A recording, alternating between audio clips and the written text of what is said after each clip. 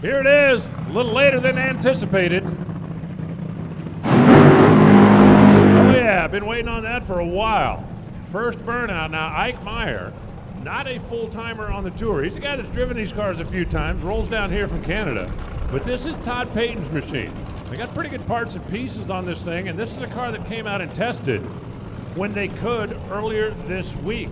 A lot of the cars went out to Phoenix and kicked off with our spring training before going to Pomona. But for the East Coast cars that didn't, NHRA offered them an opportunity to come out here and run Monday, Tuesday this week just to get a couple of laps in, kind of get everybody back in the groove. So now, let's see what they learned with Peyton turning the screws and Ike Maier behind the wheel. There are a lot of top fuel cars here.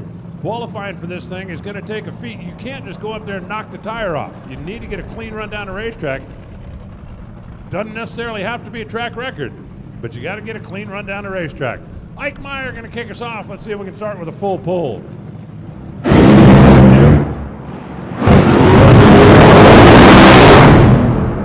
And Maier, knowing there are a lot of cars, also knowing he's not sure how many qualifying sessions we're going to get, wanted to at least get it to the stripe 5.901 at 202 miles an hour.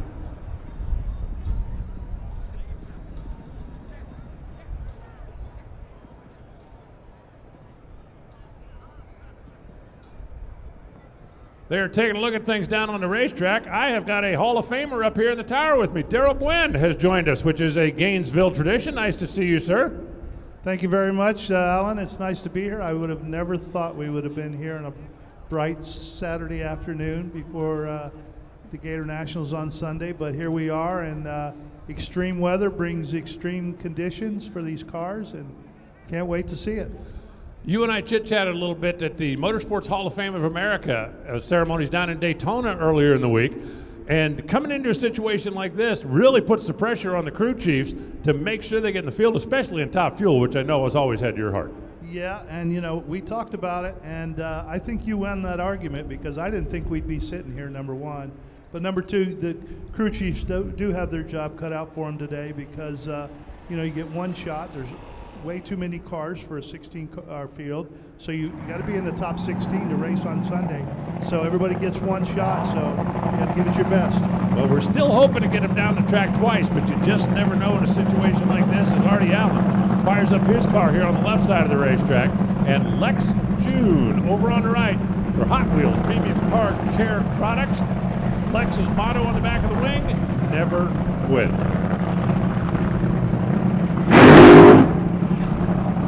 Uh, did not sound great. Car's still running.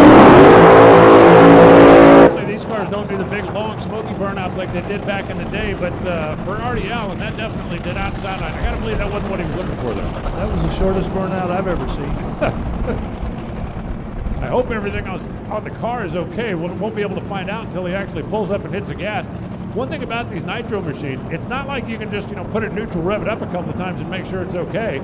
So the only thing they can do now is stage the thing up, hit the gas, and see what happens. For Lex Joon, his wife Gerda, sold everything over on the other side of the world, lived in Europe, moved over here to chase the dream. They both literally work almost nine to five jobs, and every nickel and every minute they have goes into bringing this car out so they can put their best foot forward whenever they get an opportunity to race it. It is the debut on the season for both. Artie Allen was here last week driving his injected nitro car at the regional race, but this is the first time he gets a chance to get out here and hit the gas with the top fuel machine.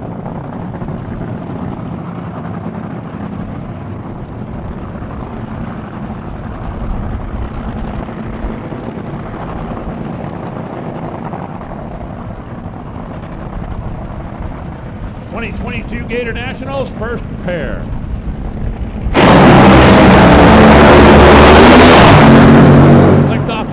600 feet was Lex Joon, 406, 295 miles an hour for Artie Allen. I was afraid that's what was going to happen. When he did the burnout, it sounded like the throttle came disconnected, whether it broke a cable, whether something on the pedal, or whether it triggered the safety system to disconnect the throttle. But the burnout that short made me afraid that the throttle You're exactly right, Alan. There's some new technology out there that prevents the cars from doing their thing under uh, emergency conditions, and I think you're right. I think it uh, it kicked in, and uh, they didn't get to make a run, so that's unfortunate for that team. Lex Joon, a 406, going to put him in the number one spot for now. Looks like we're going to have to help Artie around the corner. For those of you that aren't familiar with these cars, what Darrell is referring to, these cars all have a safety circuit on them. It's called a Leahy device that should something happen, maybe it boosted, uh, you get pan pressure, maybe the blower comes off, maybe something signals the computer on car that something's not right, it will disconnect the throttle. And the theory is if there's a small problem, it'll shut the engine off before, before it becomes a big problem. Once the throttle's disconnected, there's really nothing you can do about it until you shut the car down, go back and reset the whole system. So, about their only choice was to stage it, cross their fingers. Yeah, if you don't have no throttle, you got a real big problem. So, uh, they uh, had a malfunction somewhere, but uh, they'll get it figured out.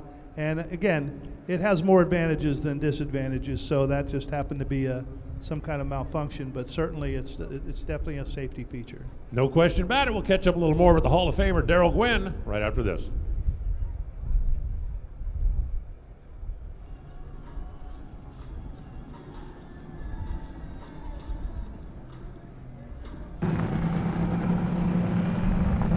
Well, whoop, here it is. How do you like Krista Baldwin's new look?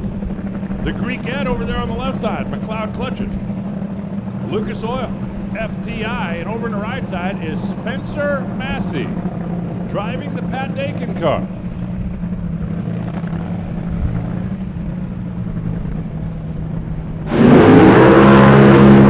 case of a couple of really hungry drivers that don't get to do this nearly as much as they'd like to.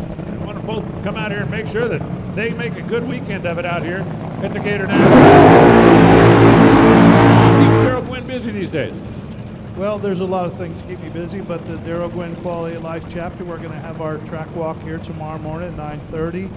Um, doing a lot of things to uh, to create more opportunities for us at the Miami Project and improve the quality of lives of others that have been inflicted with uh, injuries like myself. So, been, doing, busy doing a lot of that, and uh, I'm ready for the NHRA racing season to start. So here we are. Boy, you and me both. For those of you that don't know, Darrell Gwynn, native of Miami, Florida, second generation drag racer, grew up watching his dad race and win. Was an alcohol champion, made the move up to top fuel, and certainly looked like he was on his way to his first championship when an accident over in England paralyzed him. He has since then dedicated his life trying to find cures for paralysis and make life better for people that have had to that have been put in the same situation as he has. And that's what tomorrow's track walk for those who can't is all about. Krista Baldwin on the left side, Spencer Massey on the right side. Come on, let's get a 300 mile an hour run. Haven't seen one of those yet.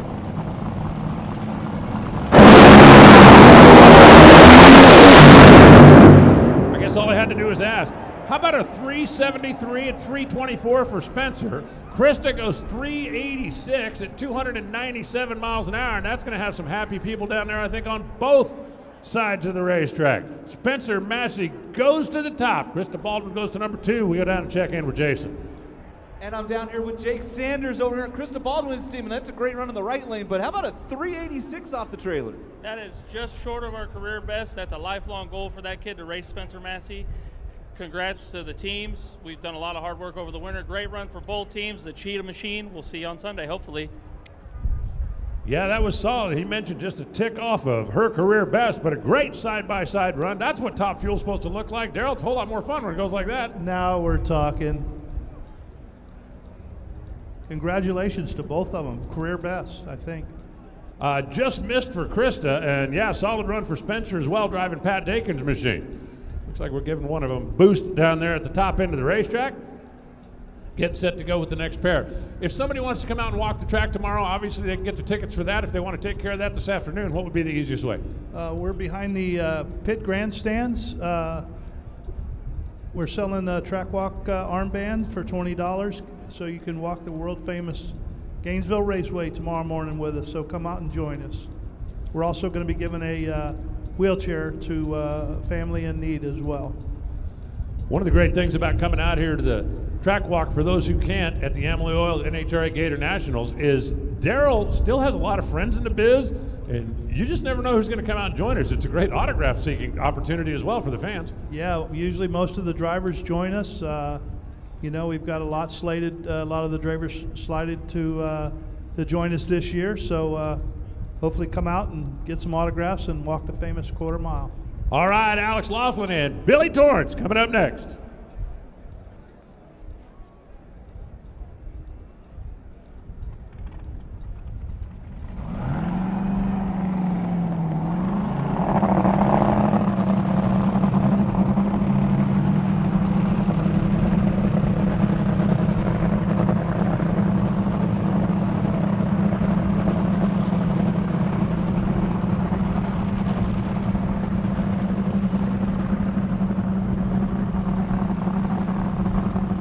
Alex Laughlin making his top fuel debut here in the Haviland machine on the left side, and Billy Billy.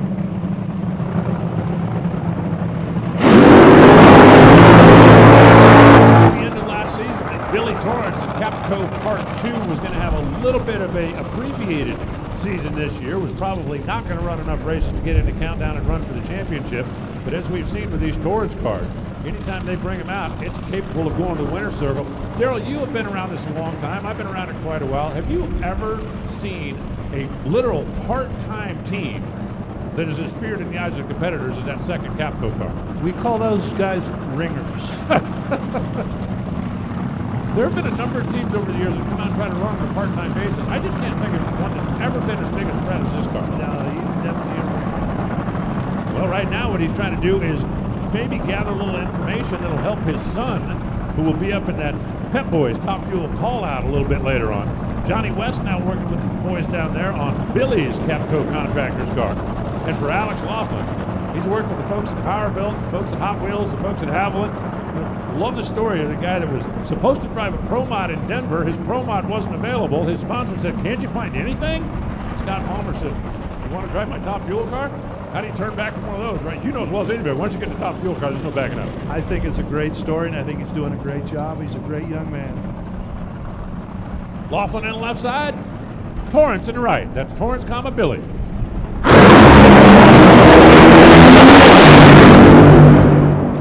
376, 328 miles an hour for Billy Torrence. 385, Alex Laughlin, 319 miles an hour.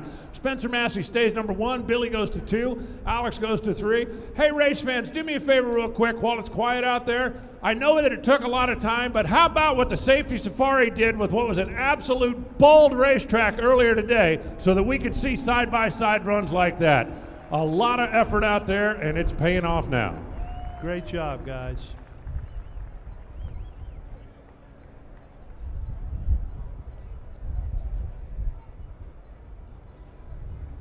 Spencer Massey sitting in the number one spot as Trip Tatum. And Doug Foley get set to rock.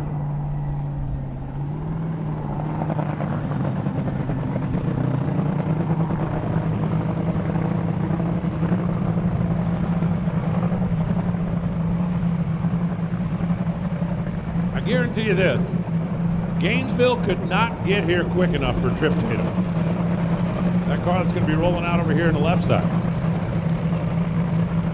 because in Arizona, we had a really good race car all throughout qualifying. Highest starting position on Sunday ever.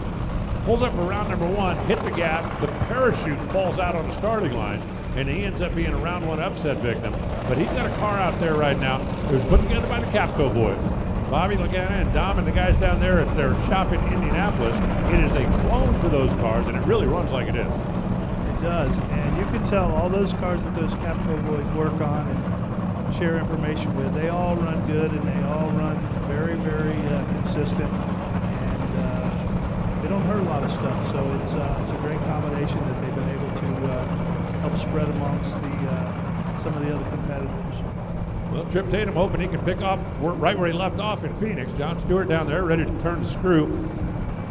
On the injector side of it, Doug Foley on the other side, the Protex team out of North Carolina. Doug Foley, Tim Lewis, they have made the commitment to come out here and run the full season. They're chasing points, trying to fight their way into the countdown to the championship.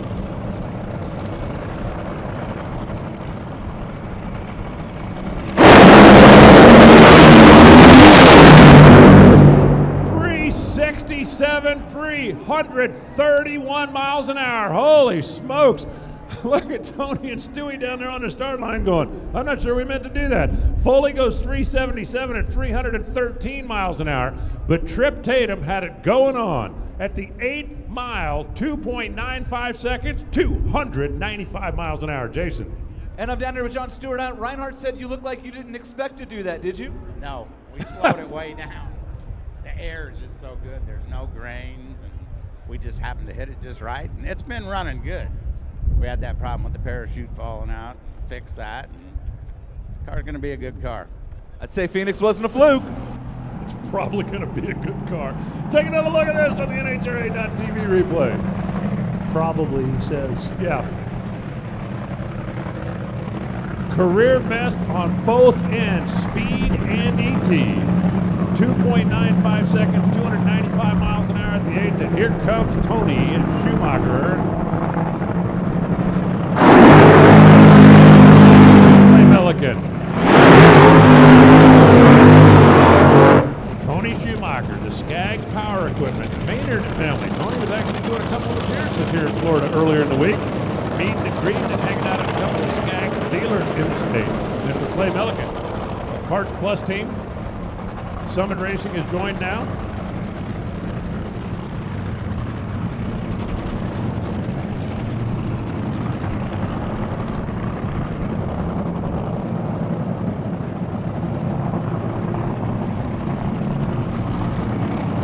Brian Lohnes just knocked the window up through the TV booth next door and said, Yo, dude, track record.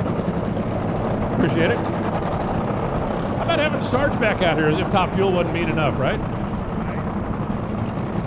Tony Schumacher, of course, the winningest driver in Top Fuel in NHRA history, no matter how you want to count them up, whether you're talking race wins, round wins, championship wins, number one qualifiers, been there and done that. He's been sitting out most of the last couple of years.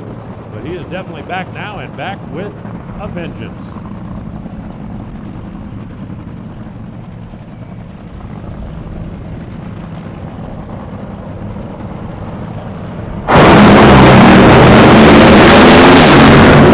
And his loses fire, 398, 266, not the run the Sarge was looking for.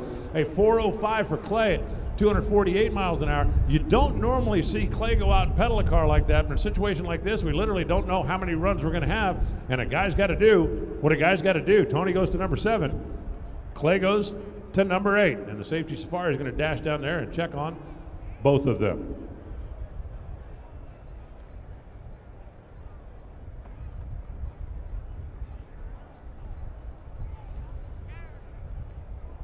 So, Darrell, you mentioned they can come by your trailer back there right behind the main grandstands, get the wristband for tomorrow. What if somebody just wants to find some more information about what you're trying to do? What's the best way to do that? They could go to miamiproject.org um, and learn more about uh, what we do and um, how long we've been around. It was formed in 1985 by the Buoniconti family, and uh, we're located in South Florida, and uh, that's where all the scientists and all the researchers are.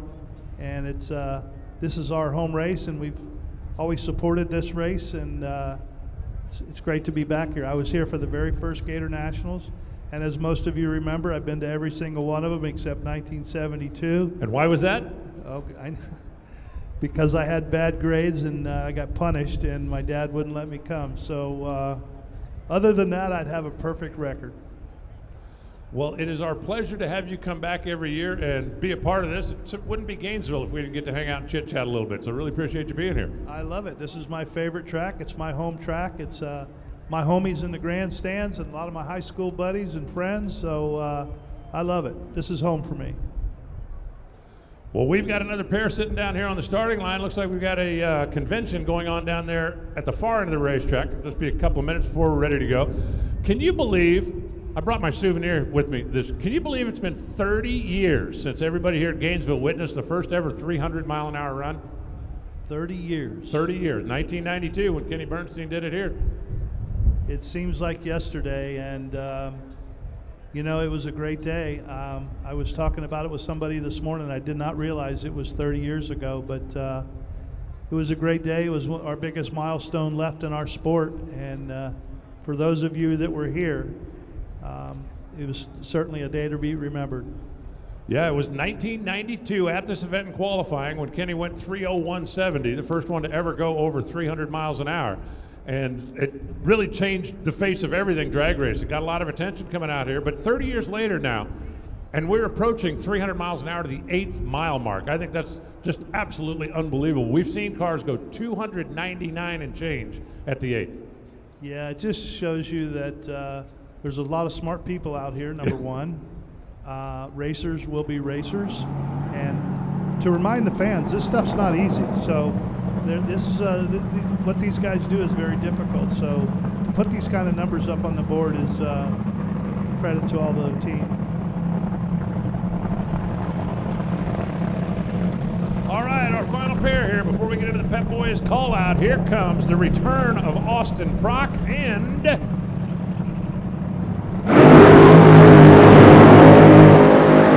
the defending race winner, Josh Hart, over on the right side of the racetrack. If you were with us last year, Josh, who lives down in Ocala, Florida, home of another uh, pretty big name drag racer that you might be familiar with, and Big Daddy thinks this kid's got a bright future. Josh Hart came out here last year, his very first top fuel race, and left with the trophy. And I don't think anybody has thought of him as a rookie since that day. I can't remember anybody that's even ever done that. Um, Gary Scelzi did it. He did. He did. Well, Darrell Russell actually did it also. Well, that listen, that's uh, a very difficult task, and uh, he's a very fine young man, and I believe regardless, he's got a fine future ahead. Uh, no doubt about So it. does Austin Prock, though. You're, you're right. Austin Prock, the Montana brand Rocky Mountain Twist Machine. During the COVID shutdown, sponsor pulled back a little bit, and he's been out of the car for most of the last couple of years. Well, Fred Teagues decided to step back up, get back involved. They've actually got Ron Tobler down there working with Joe Barlam in the gang, and he is looking to pick up where he left off a couple of years ago.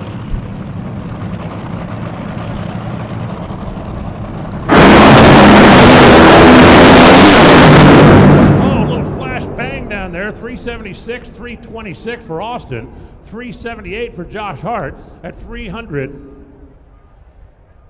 and six miles an hour. Josh's car banged down there just before the finish line. You can see the speed down a little bit. We are rolling around the corner here, getting set to go with our first round of the Pep Boys All Star Call Out. Darrell, I really want to thank you for coming up and spending a little time with us. I hope that uh, maybe you get a chance to stop up tomorrow, but I definitely will see you tomorrow on the track walk for those who can. I appreciate it, Alan, and thanks to all the fans for coming out here and sticking through this rain. And we love you, Florida fans. Thank you very much. Hall of Famer Darrell Gwynn hanging out up here in the tower as we do a little top fueling. And now we're rolling around a corner and getting ready for the Pep Boys call out, top fuel side. They are taking a look up there at the top end of the racetrack. We're getting the first pair rolled around a corner. I can tell you the first round matchups, but I can't tell you the latter because of the format of the Pep Boys top fuel call out. As we talked about earlier, the drivers all got a chance. The top drivers got to call out who they wanted to race. When we come back in round number two, whoever is the quickest winning car from round number one will have an opportunity to call out who they want to race in round number two. So there's no set ladder going into this race. It's all going to be about exactly what it sounds like. I think you're the weak duck on this pond, and I'm calling you out. They have already rolled the Doug Kalitta Mac Tools machine around the corner. Doug, of course, hot off of that number one qualifying effort he had out in Phoenix just a couple of weeks ago.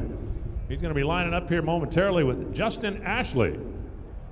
And this is the one pair that, well, basically didn't get to call out because everybody else went, I want him, I want her, I want him. And these are the last two cars that were left, but it should be fun. Justin Ashley with his big win out there in Pomona to kick off the season earlier this year. The Phillips Connect folks, a new sponsor to NHRA, helping out with Justin Ashley. They work on trailer monitoring and security. If you are in any kind of a transportation biz, you have trucks, you have trailers, you ought to check in with the guys at Phillips Connect and see if they've got something.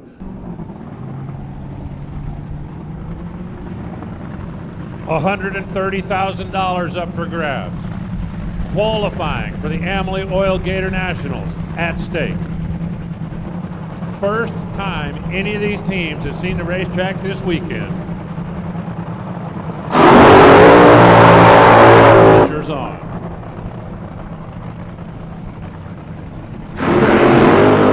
Track temperature has dipped to 85 degrees. We're talking, that's a pretty happy place if you are a top fuel tuner. We've got Justin Ashley on the left side, the Phillips Connect, Toyota, Kato, Vita C shot machine. And in the right lane, Doug Kalitta.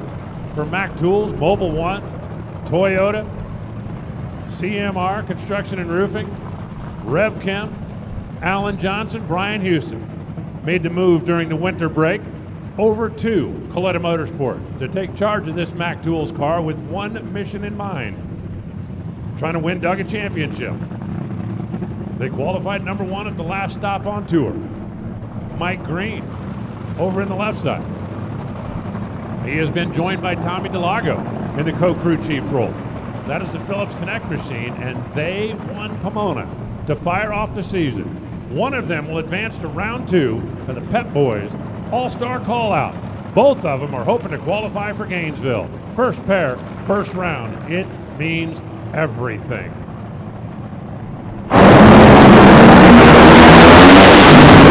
Gas too soon, and he goes red. 3.718, 330 miles an hour for Doug, and a big red light. Justin goes 372, 330.96 miles an hour, turned it green, and got the win. Oh man, Doug Kalitta on the wrong side of the tree. I didn't see that coming, but what a great side by side run to kick off the Pep Boys All Star Call Out. Side by side, 71 72, side by side, 330 miles an hour, but only one light was green, and that was Justin Ashley's. So he will advance. We'll keep track of the ET and see if he is going to be the one to make the call for the next round.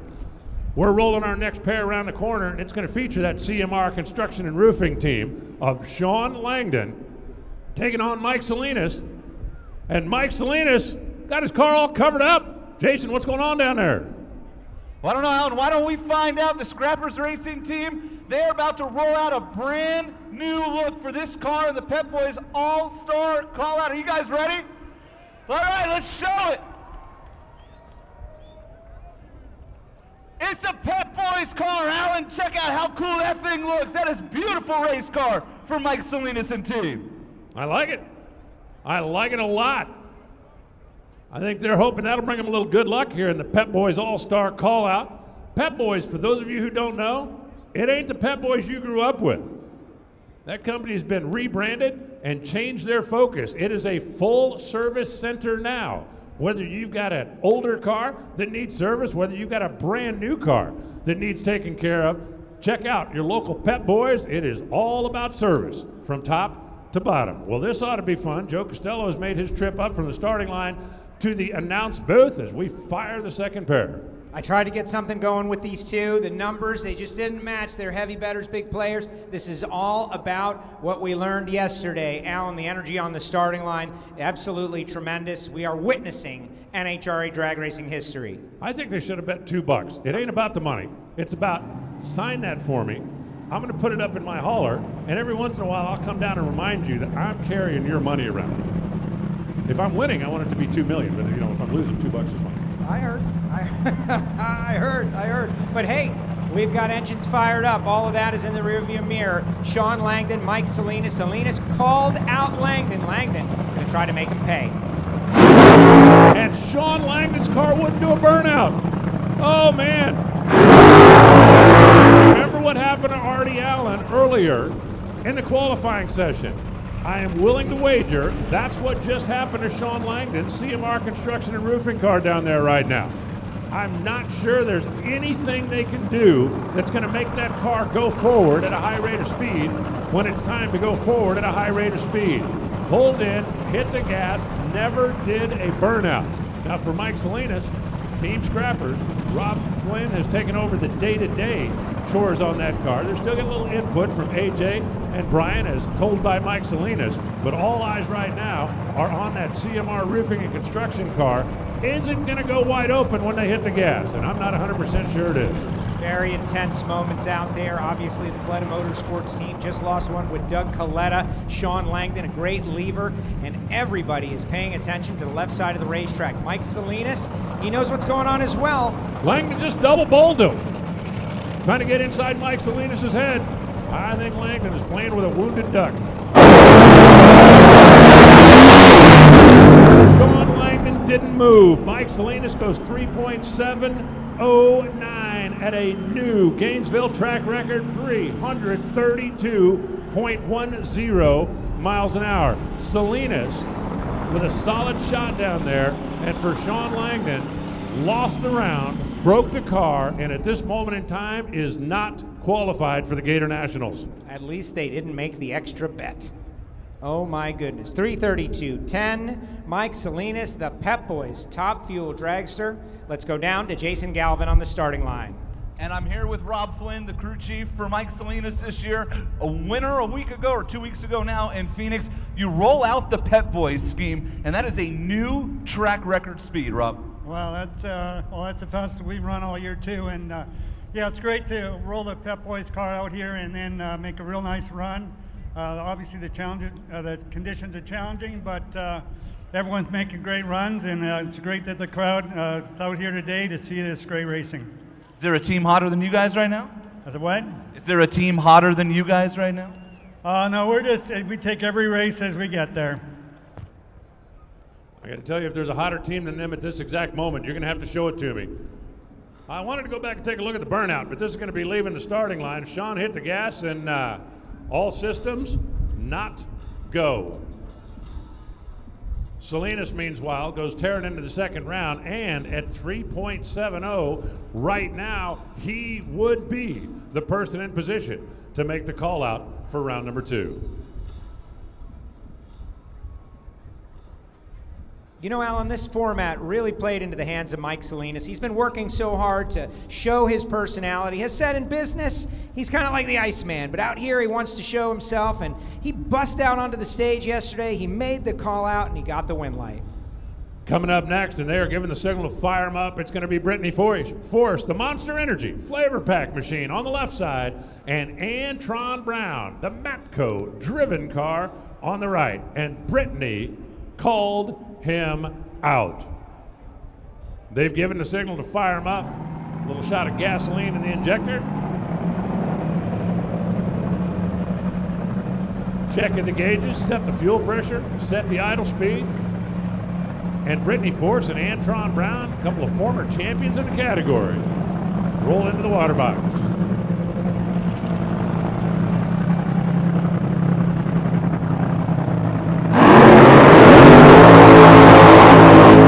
track. Let's hear from NHRA on Fox's Amanda Busick.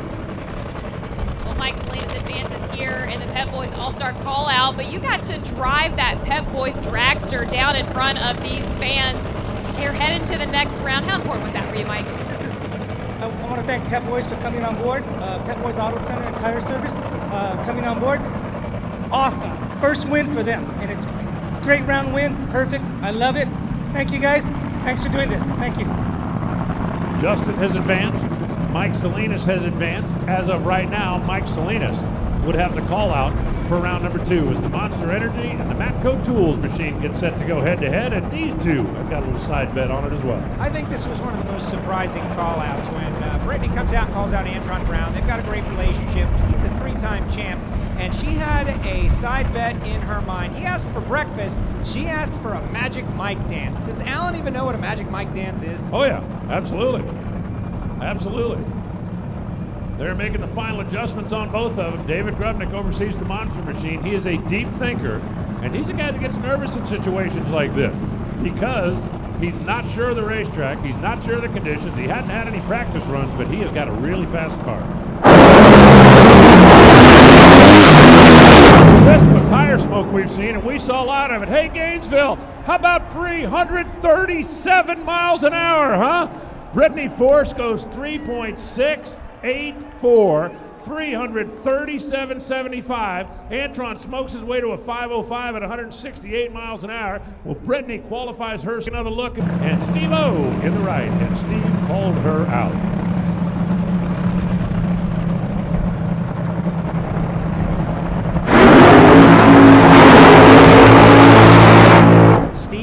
Torrence simmered on this decision for weeks Everyone asking him, asking Bobby, asking Hoagie, asking Mama Kay, who are you guys going to call out? When he burst out onto the stage, the answer was Leah. Leah says they're a new team, they got to earn respect. Well, this is a great opportunity to go out there and take down the four-time champ. A new team. Who are they kidding? Who are they kidding? That's what her she's saying. They have a new team owner. And they have a new team name. Tony Stewart is the team owner, and he is down there on the starting line right now. The power broker, direct connection car, and Steve Torrence, them Capco boys, as was said yesterday during the ceremony for the first call out in the top eliminator club, basically have run roughshod over the entire top fuel field the last four years. Now, this is pretty interesting, at least I think so, and I got the microphone. Steve Torrence chose the Budweiser side of the racetrack. He is the first car in the Pep Boys call out race to choose the right lane, and after watching what happened to Antron, chose to stay there. Will that be a wise choice? Let's find out.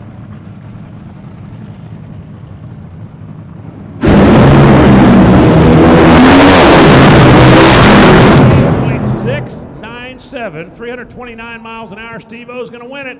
Leah pedals her way to a 512. Again, trying to make sure the power broker car gets into the field. But Steve goes 3.697. Steve goes 329 miles an hour. Steve goes into the next round of the Pep Boys All Star Call Out. And that means when it comes time to make that call, it will be Brittany who gets to decide who she wants to race. Let's go down to Jason Galvin on the starting line.